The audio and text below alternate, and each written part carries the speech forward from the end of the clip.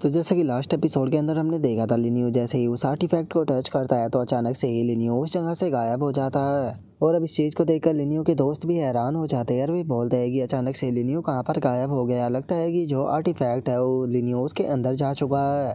और उनके इतना बोलते के साथ ही हमारा व्यू लिनियो के ऊपर आ जाता है, जो कि उस आर्टिफैक्ट के अंदर होता है। और वहाँ पर अपनी कल्टिवेशन को स्टार्ट करते हुए लिनियो अपने मन में सोचता है कि अभी तो मैंने जो नो के नो एंशियन कैरेक्टर है, उन्हें केवल समझाया तो इसीलिए अब टाइम आ चुका है उन्हें रिफाइन करने का। और इतना बोलते के साथ ही अब जो लिनियो होता है, वो उन कैरेक्टरों को रिफाइन करना शुरू कर देता है, जिसके बाद में अब हमारा व्यू जो होता है, वो पंद्रह साल बाद पर आ जाता है, जहाँ पर कि लिनियो ने फाइनली एक कैरेक्टर को रिफाइन कर लिया होता है। जिसे देख लिनियो भी खुश होते हुए अपने मन में सोचता है कि चलो, पहला इंसेंट कैरेक्टर जो है वो तो यहाँ पर रिफाइन हो चुका है। वैसे इसमें काफ़ी टाइम लगा, लेकिन इसकी मदद से अब मैं एनसिस्टर रियलम के मिडिल स्टेज पर जा चुका हूँ। मैंने ये कभी भी नहीं सोचा था कि ये एंशियन कैरेक्टर जो है वो इतने ज़्यादा पावरफुल होगी कि केवल एक ही कैरेक्टर को रिफाइन करने से मेरी कल्टीवेशन के अंदर ब्रेक थ्रू हो जाएगा और इतना बोलते के साथ ही लिनियो को अचानक से कुछ महसूस होता है। और अब हम देखते हैं कि लिनियो के आसपास में काफ़ी सारे स्टैचू जो होते हैं, वो आ जाते हैं। जिसे देखकर लिनियो अपने मन में सोचता है कि पहला इंसेंट कैरेक्टर जो है, उसने मुझे यहाँ पर एक स्ट्रॉन्ग प्रमोशन और उसी के साथ में एक अंडरस्टैंडिंग की एबिलिटी दी है, जिसके अंदर की मुझे एक क्ले पोर्ट जो है, वो मिलता है। लेकिन यहाँ पर ये क्ले पोर्ट प्राप्त करना बिल्कुल भी आसान नहीं होने वाला, क्योंकि यहाँ पर काफ़ी सारे सुप्रीम बिग गार्डियन जो है, वो इसे गार्ड कर रहे हैं। और इनकी हालत को देखकर ये कहना गलत नहीं होगा कि इनकी मौत जो है वो बहुत टाइम पहले ही हो चुकी है और मुझे लगता है कि ये इस क्ले पोर्ट को ही यहाँ पर प्रोटेक्ट करते हुए मारे गए होंगे।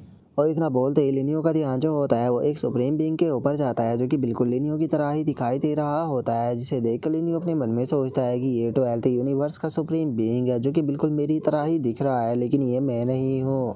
और लिनियो ये सोच ही रहा होता है, तभी उस सुप्रीम बींग के अंदर से अचानक से एक एनर्जी जो होती है, वो निकल कर सीधे जो लिनियो होता है, उसकी बॉडी के ऊपर आकर लगती है, जिसे देखकर लिनियो भी काफ़ी ज़्यादा हैरान हो जाता है, और इससे पहले कि वो कुछ समझ पाता, अचानक से उसकी बॉडी वहाँ से गायब होना शुरू हो जाती है। जिसके बाद में हमारा व्यू जो होता है, वो लिनियो के दोस्तों के ऊपर आ जाता है, जहाँ पर कि सेकंड पैलेस मास्टर और जो लिन जैन होता है, वो दोनों बोलते हैं कि हमें ऐसा लग रहा है कि हम लोग जो है वो किसी चीज़ के बारे में भूल चुके हैं, लेकिन याद नहीं आ रहा कि आखिर वो चीज़ क्या थी। और उनके इतना बोलते के साथ ही जो योकिंग होती है, वो भी काफ़ी ज़्यादा हैरान हो जाती है, और वो हैरान होते हुए बोलती है कि ये लिनियो था मुझे याद आ गया, जिस टाइम पर वो सिक्स विंग गॉड किंग के साथ में फ़ाइट कर रहा था तो उसी टाइम पर सिक्स विंग गॉड किंग के द्वारा भी उसे इसी तरह से ख़त्म कर दिया गया था। और उस टाइम पर भी मुझे सेम यही फीलिंग जो थी वो आई थी। तो क्या इसका मतलब ये हो सकता है कि लिनियो की जो ज़िंदगी है वो दोबारा से ख़तरे में है? और वो इतना सोच ही रही होती है, लेकिन तभी जो चैन लूबी होती है, वो चिल्लाते हुए बोलती है कि डैमिट जो लिनियो है वो ख़तरे में है। और उसके इतना बोलते ही हम देखते हैं कि लिनियो की जो बॉडी होती है, वो दोबारा से अपनी शेप में आ जाती है। और जो लिनियो होता है, वो अपने मन में सोचता है कि, सच में ये तो बहुत ही ज़्यादा स्कैरी था मेरी। यहाँ पर ऑलमोस्ट डेथ जो है वो हो चुकी थी। वो तो यहाँ पर मुझे शुक्र करना चाहिए गॉड किंग टोगन का, जिसने कि दोबारा से मेरी बॉडी को बना दिया। नहीं तो मुझे नहीं लगता कि मैं आज बचने वाला था। और इतना बोलते के साथ ही अब जो लिनियो होता है, वो वहाँ पर रखा हुआ जो वो पॉट होता है, उसे उठा लेता है। और उसे उठाते हुए जो लिनियो होता है, वो बोलता है कि मैं समझ चुका हूँ, ये कोई क्ले पॉट नहीं है, बल्कि ये एक ट्रू स्पिरिट पॉट है।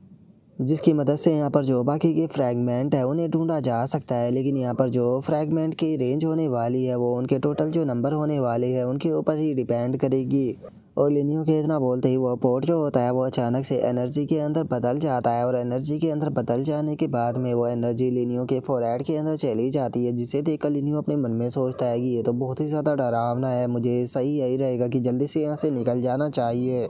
और इतना सोच कर अब लिनियो जो होता है, वो बाहर आ जाता है और बाहर आने के बाद में जो चैन लोबी होती है, उसे बोलता है कि ये ख़त्म हो गया और तुम्हारा बहुत बहुत शुक्रिया मेरी मदद करने के लिए। जो सुनते के साथ ही चैन लोबी जो होती है वो लिनियो से बोलती है कि पुराने क्लासमेट काफ़ी लंबा टाइम हो गया, जब से हम लोग नहीं मिले। ये काफ़ी दुख की बात है कि मेरे पास में ज़्यादा टाइम नहीं है, क्योंकि मैं दोबारा से सोने के लिए जा रही हूँ तो इसीलिए मैं चाहूँगी कि तुम इसका ध्यान रखना। जो सुनकर लिनियो जो होता है, वो चैन लोबी से बोलता है कि तुम आराम से सो सकती हो, तुम्हें टेंशन लेने की कोई ज़रूरत नहीं। जब तक मैं यहाँ पर हूँ, कोई भी तुम्हारी बॉडी को कुछ नहीं कर पाएगा। जो सुनते के साथ ही चैन लोबी दोबारा से अपनी डीप स्लीप में चली जाती है और लिनियो लेकर उसे बाहर आ जाता है। और चैन लूबी को ऐसे देखकर जाओ, फैमिली का जो एनसिस्टर होता है, वो लिनियो से बोलता है कि, आखिर जो चैन लूबी है, उसे क्या हुआ? जो सुनकर लिनियो जो होता है, वो बोलता है कि, कुछ नहीं, यहाँ पर अवेकनिंग के कारण ये कुछ टाइम के लिए बेहोश हो चुकी है तो इसीलिए चूँकि अब यहाँ पर करने के लिए कुछ नहीं बचा है तो जो फैंग चैंग और जो पैंग लाई है उस आइसलैंड के ऊपर चलते हैं, ताकि हम वहाँ से बचे हुए फ्रेगमेंट को प्राप्त कर सके। जो सुनते के साथ ही जो जूफू होता है, वो भी से बोलता है कि ठीक है तो चलो फिर वहाँ पर चलते हैं, क्योंकि मैं भी काफ़ी लंबे टाइम से जो बाकी के लड़के और लड़कियाँ हैं, उन्हें देखना चाहता हूँ। और इतना बोलते के साथ ही अब हम देखते हैं कि वो जो दूसरा आइसलैंड होता है, उसके ऊपर आ जाते हैं। वहाँ पर आने के बाद में जो जूफू होता है, वो अपने पास से एक टोकन को निकाल लेता है और टोकन की पावर का इस्तेमाल करते हुए बोलता है कि चलो टाइम आ चुका है सेकेंड आइसलैंड को ओपन करने का। और इतना बोलते के साथ ही जो जूफू होता है, वो अचानक से बहुत ही ज़्यादा हैरान हो जाता है, क्योंकि हम देखते हैं कि वहाँ पर एक बहुत ही पावरफुल एनर्जी का टोर्नेडो सा बनने लगता है, जो देखने के बाद में जूफू बोलता है कि ये फीलिंग तो बहुत ज़्यादा बुरी है। और इतना बोलते के साथ ही जो जूफो होता है, वो लिनियो के साथ में उस आइसलैंड के ऊपर आ जाता है, जहाँ पर कि बहुत सारे स्केलेटन पड़े होते हैं, जिसे देखकर जूफो बोलता है कि आखिर यहाँ पर चल क्या रहा है? ये डेड बॉडिया जो है, उन्हीं सभी टैलेंटेड लोगों की है, जिन्हें कि मैं यहाँ पर लेकर आया था। मुझे यकीन था कि ये लोग जो है, वो यहाँ पर कल्टीवेशन कर कर खुद को पावरफुल बना सकते हैं, ताकि ये फ्यूचर में वर्ल्ड को प्रोटेक्ट कर सके। लेकिन केवल मैं तो यहाँ पर एक हज़ार साल से ही नहीं आया था। आखिर एक हज़ार साल के अंदर किसने इन सभी को मार दिया? जिसने भी इन सभी को मारा है, मैं उसे ज़िंदा नहीं छोड़ूँगा, चाहे वो कोई भी क्यों ना हो, मैं उसे जान से मार दूँगा।